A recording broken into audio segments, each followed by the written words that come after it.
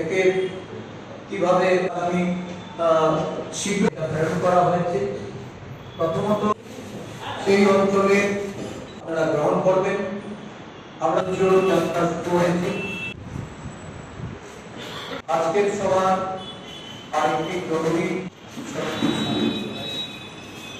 দেশ জুড়ে কংগ্রেস দলের নেতৃত্বে যে ইন্ডিয়া জোট গণতন্ত্র এবং সংবিধান রক্ষার যে লড়াই, এই লড়াইয়ে যারা সামিল হয়েছেন, তাদেরকে শক্তিশালী করার লক্ষ্যে এই কর্মসূচি।